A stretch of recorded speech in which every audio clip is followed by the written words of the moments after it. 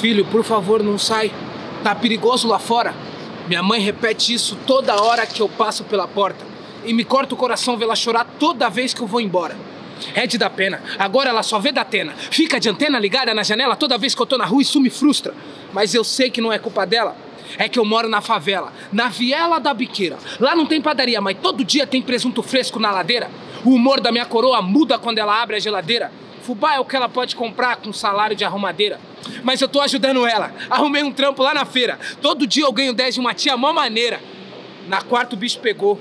Mó correria, barulheira. As frutas tudo no chão, tomate, maçã, pera. Era a polícia subindo morro e não era pra brincadeira. E quando eu fui voltar pra casa, minha mãe tava na ladeira. Hoje o presunto tem nome, Maria da Conceição. Mas como não tem dinheiro, vai ter caixão de papelão. Eu devia ter ficado em casa. Porra, mano, a culpa é minha. A gente mal tinha endereço, mas aquela bala tinha. Tô sentindo falta dela. Ô menino, por que chora? Esqueci de avisar ela. Tá perigoso lá fora.